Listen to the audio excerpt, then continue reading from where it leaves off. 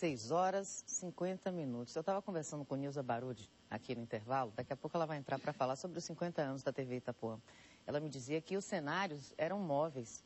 Pendurava o cenário, não é, Nilza? Aí tirava o cenário na hora, colocava o cenário na hora. Ou seja, quem fazia televisão antigamente sem celular, sem internet, tinha que ser duplamente bom, né não?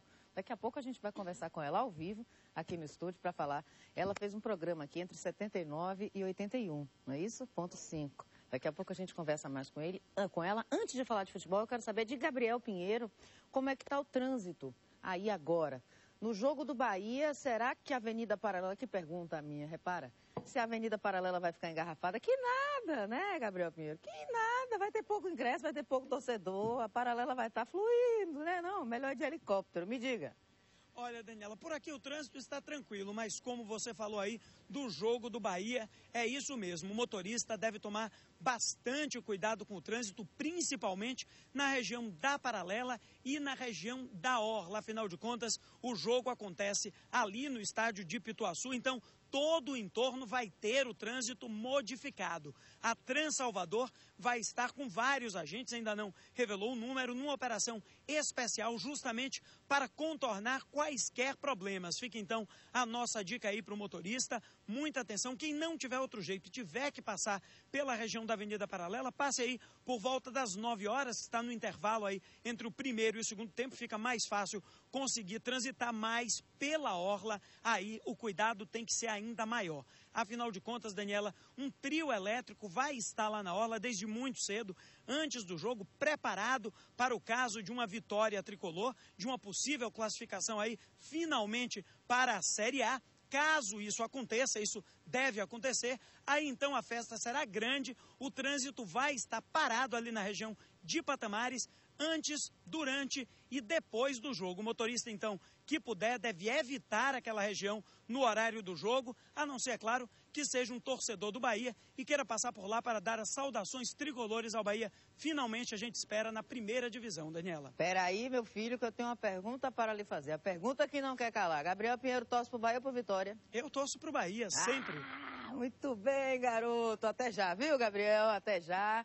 Gabriel Pinheiro ao vivo e mudando completamente o rumo da prosa, vamos chamar Vinícius Cunha ao vivo para saber sobre o acidente que aconteceu agora há pouco na região da Garibaldi. Pelo jeito o carro rodou, não é, Vinícius?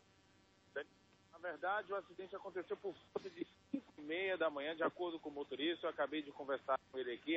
É, da água que está é, tá aqui na pista, ele não conseguiu é, o carro aí que rodou e acabou batendo. O motorista não está ferido, mas o problema, Daniela, é que o carro não pode sair do local e não passa um reboque aqui, ninguém da Transalvador passou aqui até o momento, o que pode inclusive provocar novos acidentes, porque o, o carro está, é, ele virou, rodou bem perto da curva aqui, o que dificulta a passagem de novos carros. Mas uma informação importante aí que não há feridos, o motorista está bem, não teve nenhum problema, Daniela. Obrigada, Vinícius Cunha. Agora me diga uma coisa, por que, a Transalvador não chegou lá até agora? Vinícius está tá na linha ainda não?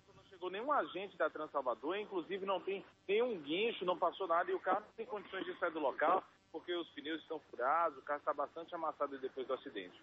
Bem, que bom que não teve é, vítima, não é? Grave nem nada disso. Agora, por favor, Transalvador, vai deixar o carro aí? Vai deixar o carro no meio da via? Hein? Alô, Transalvador, toque, toque, toque. Tem alguém aí? O carro tá ali desde 5 e meia da manhã, gente. Teve um acidente, rodou na pista, pista molhada. Transalvador, por favor.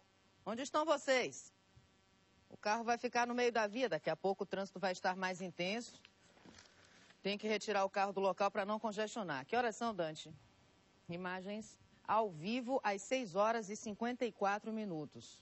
Acidente sem gravidade, sem vítimas, mas que deixou o carro no meio da pista, na Avenida Garibaldi. Não compreendo isso, não compreendo isso. Desde 5 e meia. Cadê a Transalvador?